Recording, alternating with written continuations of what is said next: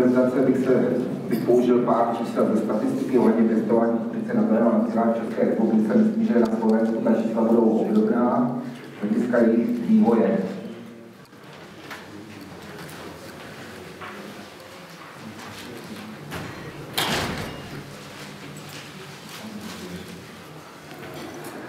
Týče výměry, jak vidíte od roku 2009 po slovenskou sezonu roku 2016, tam vidíme neustálý nárůst, že vlastně v roce 2006 byly v České republice historicky nejnižší výměr na úrovni 160 tisíc hektarů kukuřice pěstované na siláž a na zeleno. A od té doby vlastně díky tomu, že vlastně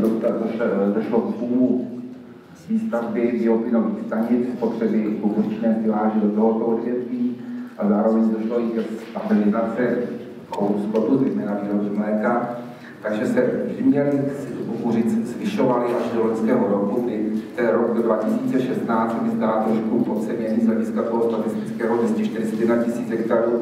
protože vlastně po tom roce 2015 si myslím, že by to číslo mělo být minimálně stejné, možná vyšší než těch 245 tisíc hektarů